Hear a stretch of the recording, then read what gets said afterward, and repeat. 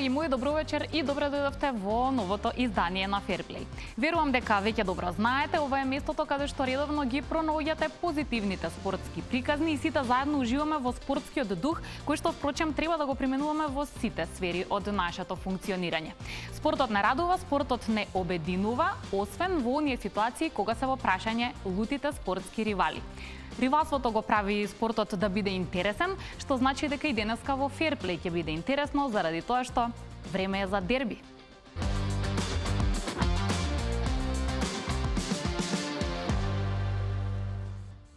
Пред три дена македонската јавност имаше прилика да ужива во атрактивното ракометно дерби меѓу актуелниот шампион Вардар и актуелниот вице-шампион Еврофарм Пелистер. Ова беше интересен натпревар, битката траеше буквално до последната секунда за на крај екипите да ги подалат бодовите, односно да извојуваат нерешен резултат. Ние бевме во градот домакин за да дознаеме како домакините се подготвуваа за овој важен натпревар и морам да признам битолчени беа на вистина добри домакини, а во тоа ќе се уверите и вие во продолжение.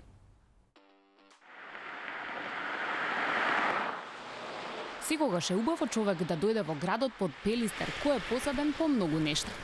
Во оваа прилика за нас е значајно дека Битола е важен македонски ракометен центар. Играј Пелистер и победи со тебе се верниш мали храбро бори се Со тебе е цела битола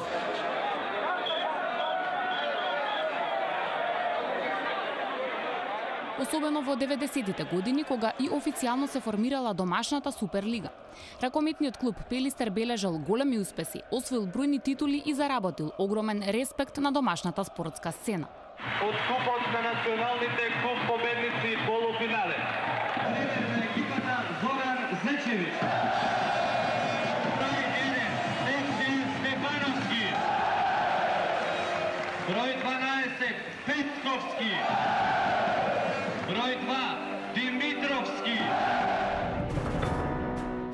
долгиот период на затишје и дистанца од посериозни успеси и титула, подпишувањето на така наречената платформа за ракометна битола и официализирањето на клубот Еврофарм Пелистер донесоа нова искра, но и реални услови за враќање на некогашниот ракометен сјај во градот.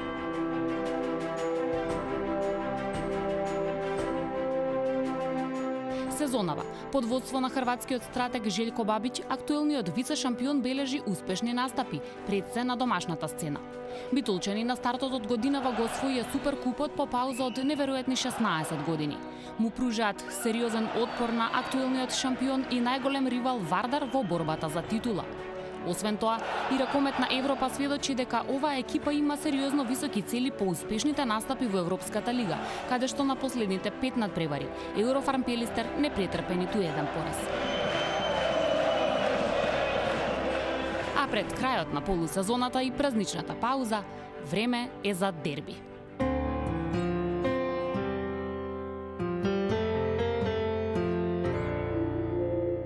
Поздравувам овој пат од Широксокак во Битола, каде што зимно време, како што гледате вообичаено, знае да биде многу студено. Меѓутоа има една многу важна работа која тука знае да создаде пеколна атмосфера, а тоа се надпреварите кои ги игра ракометниот клуб Еврофарм Пелистер. Во очи на дербито против Скопскиот црвено црв клуб Вардар. Овој пат дознаваме каква е атмосферата, колку битолчани си го сакаат својот клуб и како играчите и предводникот се подготвуваат за оваа срета. Ајде да ги прашаме. Дали гледате ракомет? Не. Не? Oh no. Дали следите ракомет? Да, следиме. Следите? За кого навивате? За клуб Еврофан Пелистер. Јас помислев за Вардар навивате, немаш. Сигурно не. Добро, одите по некој пат да гледате над превари во живо? Да, да. Да? Сигурно. Знаете во среда Се знае, вечниот ривал, Вардар. Кој ќе победи?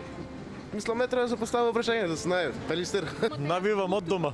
Од дома? Да. Е, добро, во среда играат Европа. Вардар. Вардар. Кој ќе победи? за кој за кој викате, ајде.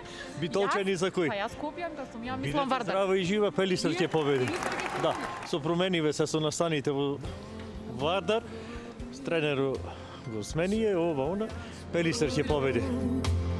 Како тебе мил за мене нигде не најдо.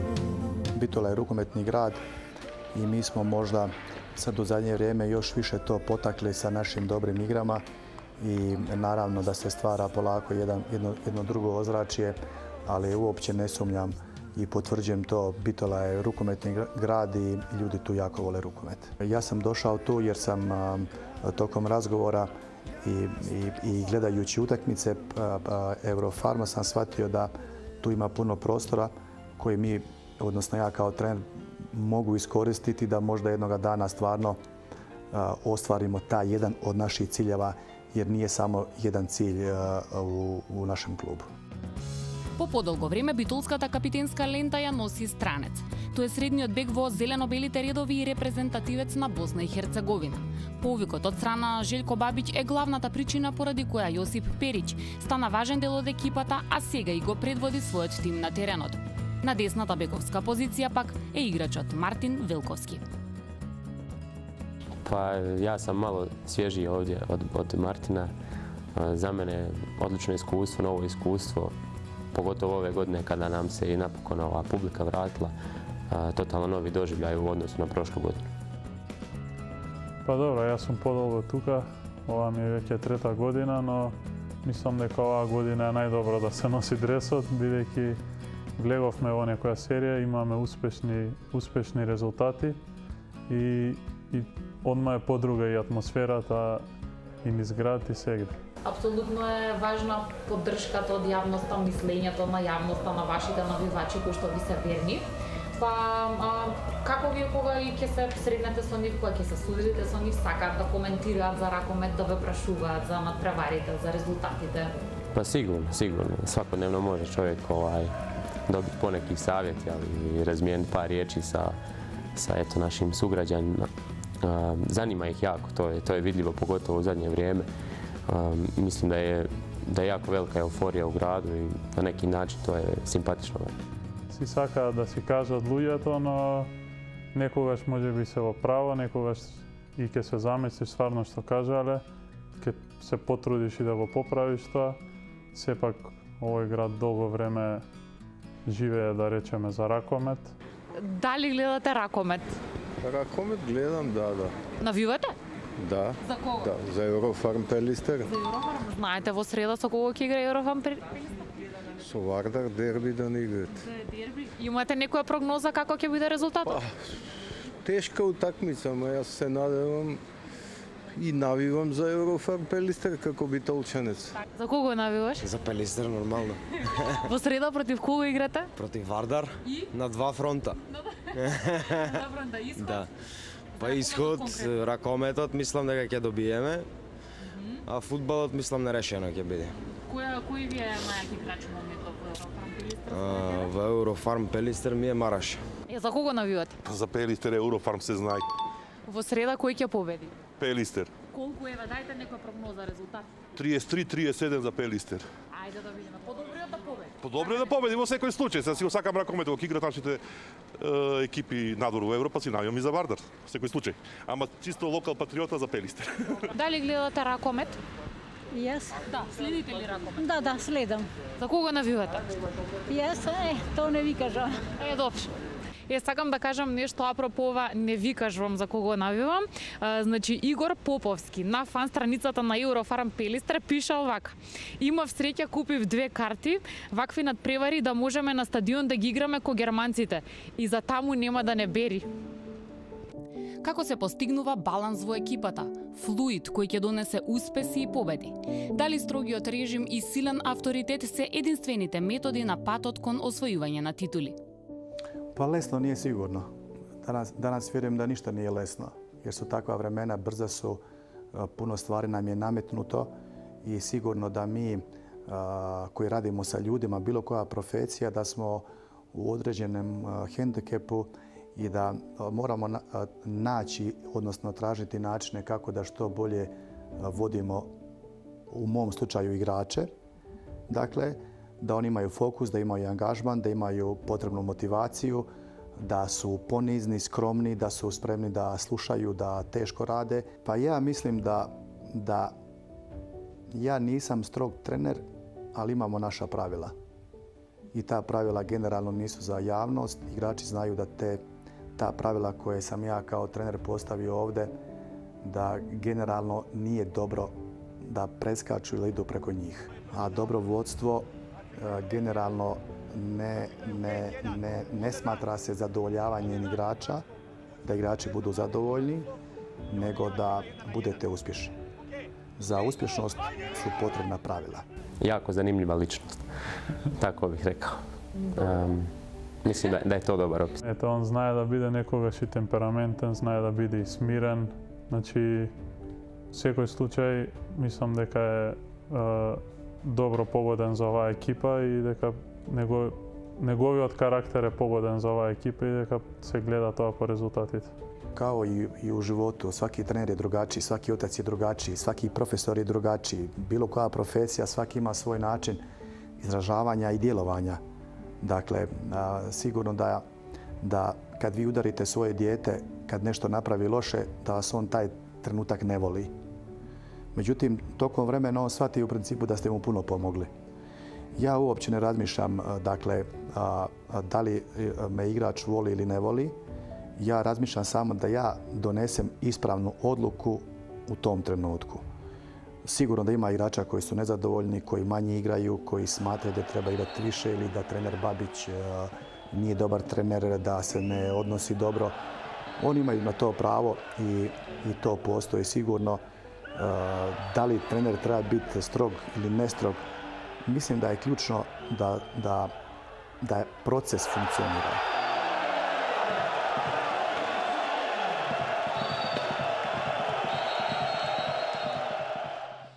Како изгледа подготовки за дерби?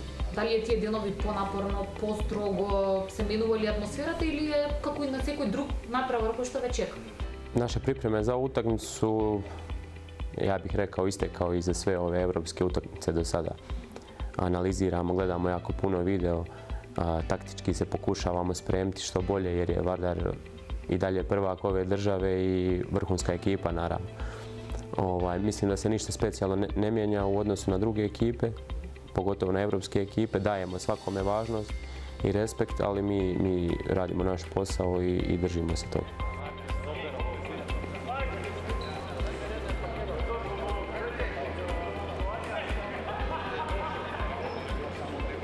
Jutro krene sa jednim ranim dizanjem od 6 sati, pošto se djeca ustaju u 6.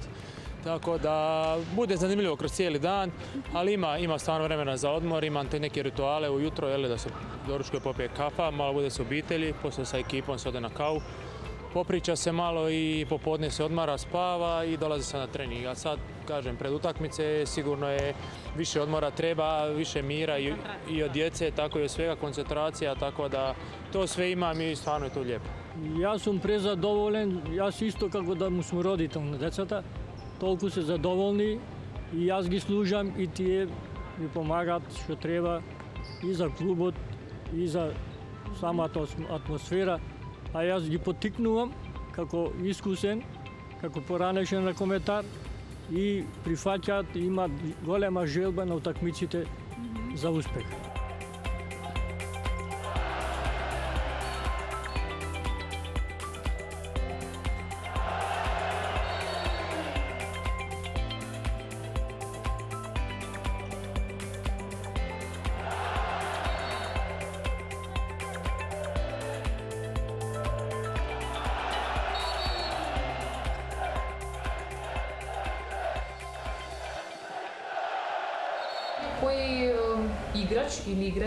Играчи на најчесто ви создаваат најголеми проблеми?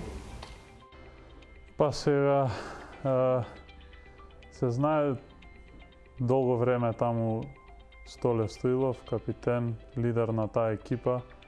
Он секогаш кога ќе дојде дербито во прашање, секогаш игра доста подобро, значително подобро него на други надпревари.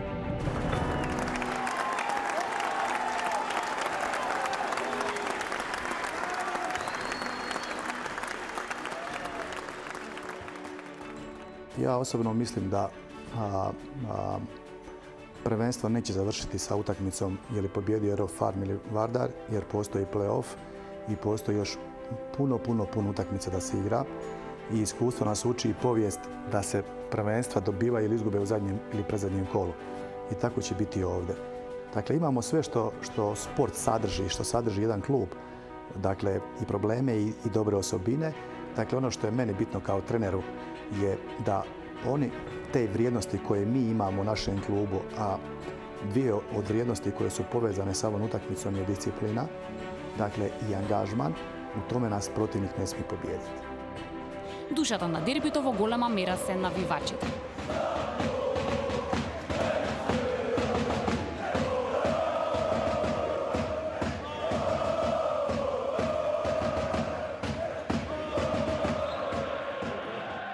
Битолчани овој пат за рекордно кратко време ги набавија своите билети, а природно, чкембарите се оние кои без дилема ја имаат главната улога на трибините во спортската сала Боро Чурлевски. Зелените освојувачи или пеколните момци, како што на нивните транспаренти пишувало. За прв пат организирано се појавиле на битолските трибини во 1986 година. nema, nema neke treme, nego jednostavno to je jedan motiv više. Kad oni dođu na tribinu, jednostavno osjećaš da imamo stvarno igrača više, što se kaže, sa njima i lakše je igrati sigurno. Nego bez njih ovo kad doba korone bilo, bilo je stvarno katastrofa, prazne tribine. Kako izgleda posla Puvela vas oblikovalno? Kakvo, ima muzika? Ima, ima, redovno, redovno ima muzika. Mm. Tega internacionalna je nekako ekipova, što puštate? Što pa mislim internacionalna, mi, svi, smo, svi smo mi naši.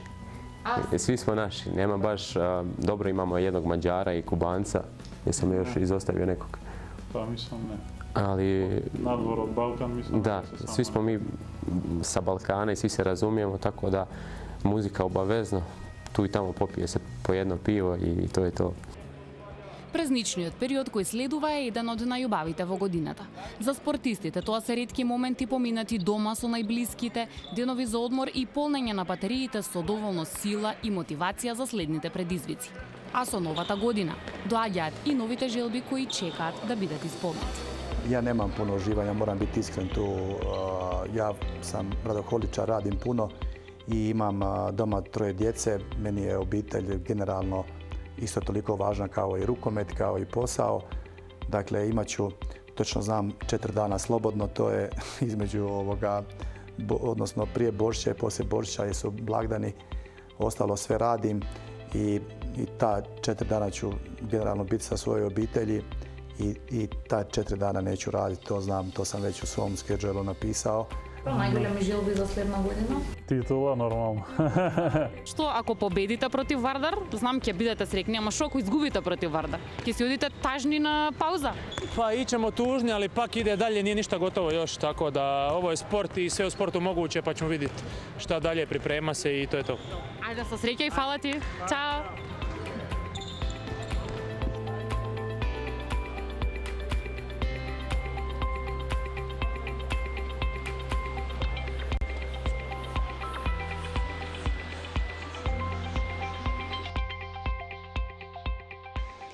Како да не сте дошле во Битола, ако не седнете на широк сокак да се напиете некоја кафе или во оваа ситуација јас ќе пијам чај. Решивме да ве посетиме заради тоа што дознавме дека всушност сте гостопримливи за спортисти по конкретно ракометари. Имате ракометна треска, значи ли дека сите тука сакате спорт, следите спорт? Точно така. Ракометари до од Еврофарм Пелистра се наши чести гости. Исто можам да кажам дека кој втор дом му е на некој од нив. Например, Например, на, на Елмир Граđан, Стиве Мандалиниш можам да го спомнам и останатите. граѓан живее тука најблиску, така ми рече. Да, прв комшија може да се каже. Значи, тој е најчесто овде, така? Да, 90% од денот. И благодарение на тоа се случи всушност оваа интересна шолјичка. Има една е, супер приказна. Кажи ми е, како дојде до моментот баш во вашиот локал да има шолја со неговиот лик. Па тргнувајќи од тоа дека многу често е во локалот и дека веќе го рачунаме како домашен, тој самиот кажува дека повеќе од нас е тука. А, има неколку креативни девојчиња од Битола кои што изработуваат шолји.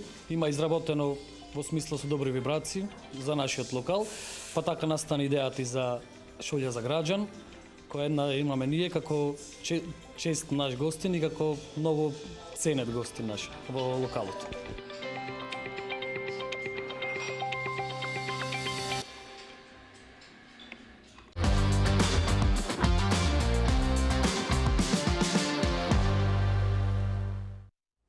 Да, после дербито немаше ниту победник, ниту губитник, нерешен беше резултатот. Се разбира, сите се заслужни на тоа кои беа на теренот, меѓутоа што се однесува до Вардарци, Тимур Дибиров испадна херој на мечот заради тоа што успешно э, стрелаше во финишот на самиот надпревар. Сега ќе слушнеме и другата страна на приказната. На моја голема чест, двајца Вардарци денеска со нас во студиото на фирплей. Им посакувам добри ден на Филип Талески и на Мартин Томовски. Здраво, дечки! Добро е, Најдов. Добро е, Најдов. Како сте? По- После таа утакмица поопуштени и полабави. Да, никаков печатокот, барем мој е дека може би за вас дури беше и поважен овој надпревар, затоа што реално доколку заминевте со пораз од таму, немаше баш да биде лесно. Имавте една негативна серија, генерално. Добро, ја би рекол дека оваа утакмица немаше ништо да означи. Да, секако имаме блага предност што ќе бидеме први во а, во есенскиот дел од Да. лигата.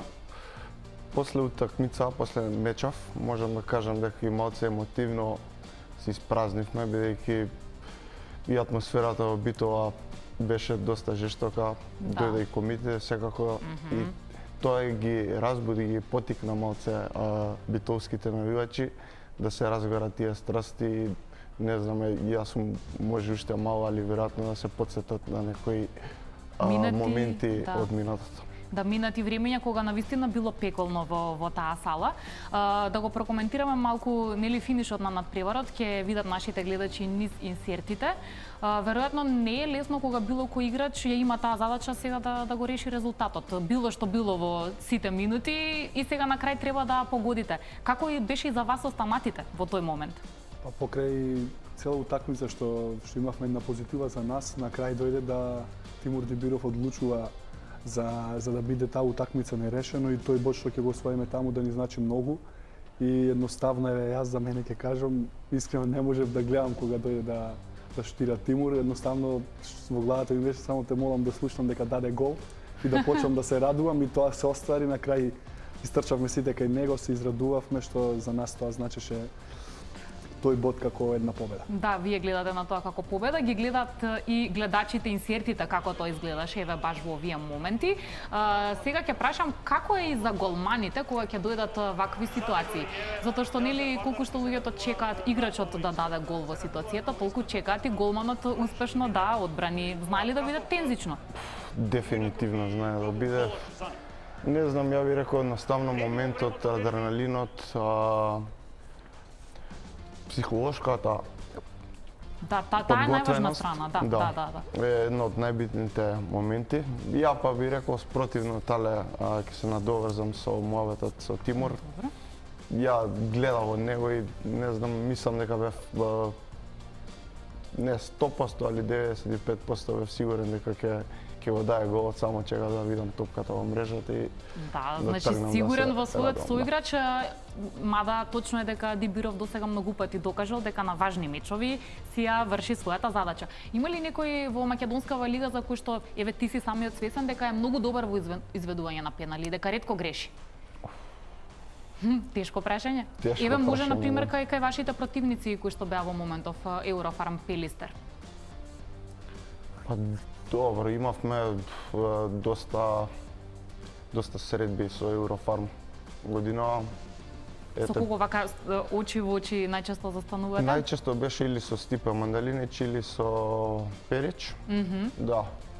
Не знам би го земал Перич како подобар изведувач на пенали. А, да.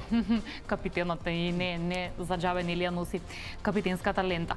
А, сакам да ве прашам што се случуваше со вашата атмосфера со оглед на тоа што на само неколку денови пред дерби вие останавте без сега веќе поранешниот ваш тренер Веселин Вујовиќ. Беше ли таа ситуација тешка? Затоа што вие сте во, ајде да речеме, тензични припреми, а сепак ви се случуваат промени внатрешно. Па после таа серија во Лига на шампионите со, со седум надпревари загубени, а, еден за нас беше тежок период и тоа дерби ни беше, како да кажам, за, за нас една утакмица да се биде или не. И знаевме плюс што не чека кога ќе отидеме таму со, со такви навивачи, со полна сала. Да. И од озгора на тоа све дојде и таа промена на тренер, каде што не очекувавме се најмер се дојде са бајле одиме за на тренинг и дознаваме дека mm -hmm. повеќе Веселин Вујовиќ не ни е тренер.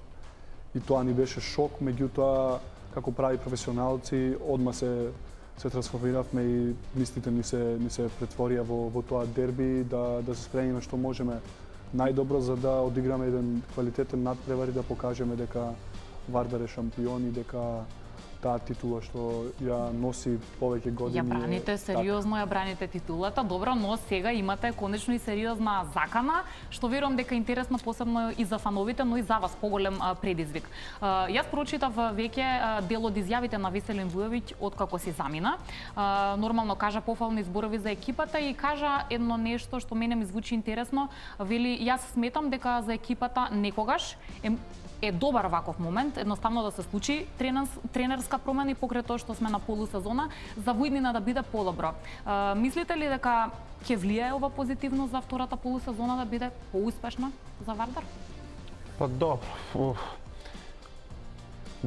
Веројатно дека би би реагирало позитивно.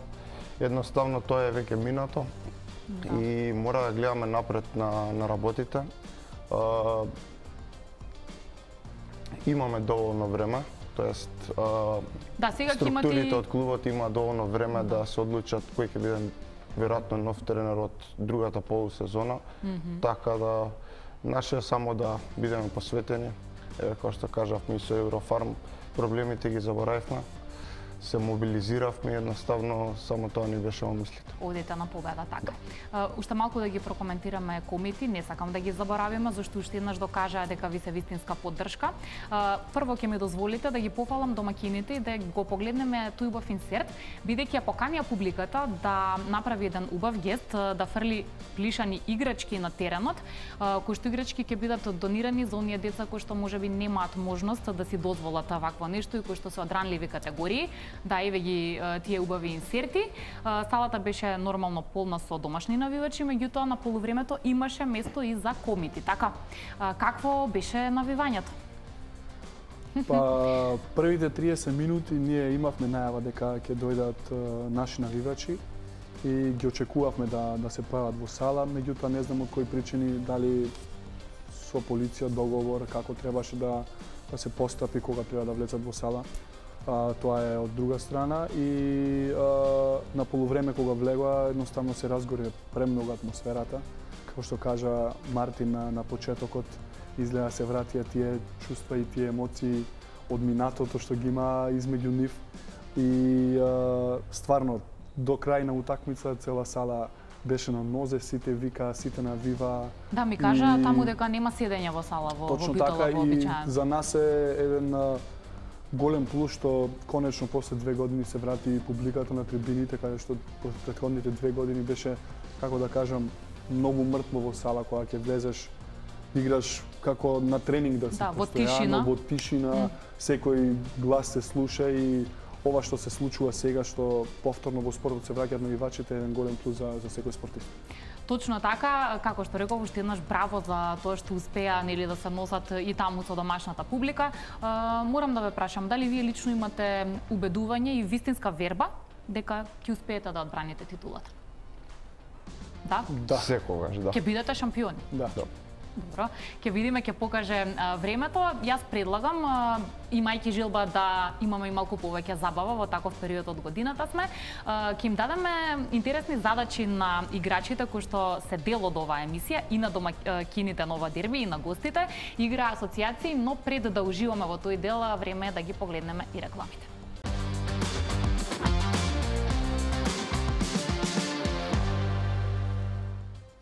Вие гледате Fairplay, а вечерва наша би рекла интересна тема е ривалството и дербито кое што неодамна се случи меѓу нашите најдобри ракометни екипи на домашното првенство се разбира Вардар и Еврофарм Пелистер. Време е малку да се забавуваме, за тоа нормално ни помогна, односно учествува дел од играчите на овие екипи. Прво да видиме како домакините се покажа во асоциациите, а потоа и со Вардарци во студио ќе продолжиме на истата таа тема. Може. bivši hrvatski trener Metalurga. Lino Červar. Dobro. Futbaleri ih nose iznad kopački, ispod šorca. Ko brani? Ispod šorca? Da. Nisu čarape. A štucni? Bravo.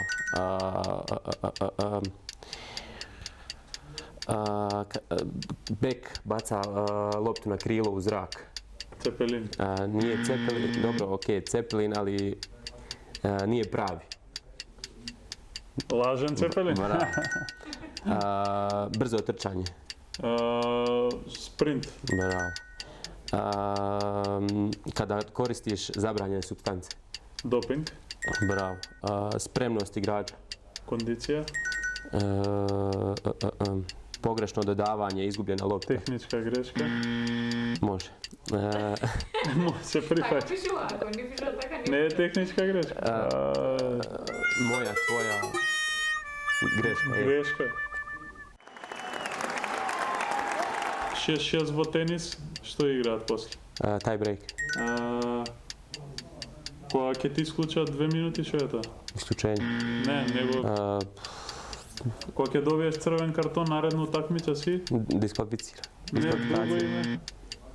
O, Нема везе, кога ќе дадеш гол, а, најдобар, највише голови што има стрелец. тој. Добро. Кога ќе дадеш гол, тоа е, ова тешко да го погодиш. Најбољи десен бек на Македонија. Lazarov. Kira. Ја ми се фијам. Е, е, фан? Navijač. Не, не, не, кога има, како се викава на онде? Fan zone. Да, добро. Е, сега ова, за да се заштитиш од удар, што ставаш? Kosta brani. Како се вика цело тоа? Мислам, значи на бициклистички оние као... Нема везе. Штитници. Ti, jao. Добро. Je bilo ovo? Бонус, офсайд бе врат. A nije, pa Ah, ništa. Nisi mi dobro gašt. E, pored načina odgovjeslovanja, on, on te povedite. Bolje? Hvala li što ti naš mnogo iza razgovarati za igrat? Hvala vam. Hvala i na vas.